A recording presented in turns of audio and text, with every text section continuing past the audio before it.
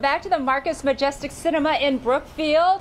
This live look in the theater lobby as we continue to highlight Hispanic Heritage Month.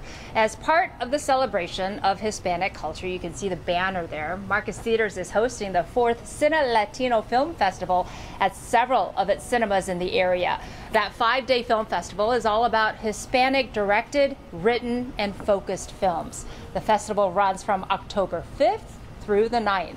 And it will kick off the premiere of Lyle Lyle Crocodile, featuring Shawn Mendes as the singing crocodile.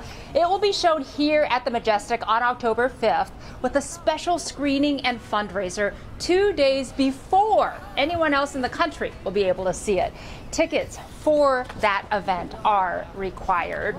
And guess what? We have a special guest just for you, Steve, and all of our viewers this afternoon. Look, Lyle the crocodile and Alejandro, an intern with Marcus Theaters. But Lyle the Crocodile is here. And if you are here for the special event on opening night, you can get your picture taken with Lyle and his glorious tail, too.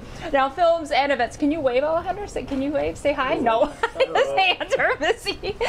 Doing us a favor bringing Lyle in. So, included in the festival that's going to be held here at the Majestic, along with the Marcus Theaters at Brookfield Square, South Shore Cinema, and Sturtevant will also be participating in the Cine Latino Film Festival. And a portion of the money that's made from these special events will go towards local Hispanic health and education efforts. And coming up in about 10 minutes, we're going to speak live with the retiring chairman, CEO, and president of Marcus Theaters, Rolando Rodriguez, about the importance of the Cine Latino Film Festival and the celebration of Hispanic culture.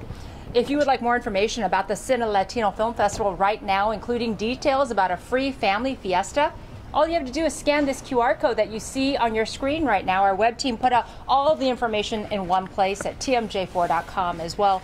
So it'll be easy to get the information to participate in the Cine Latino Film Festival. Alejandro, thank you so much. You did a great job with Lyle the Crocodile. Steve, back to you.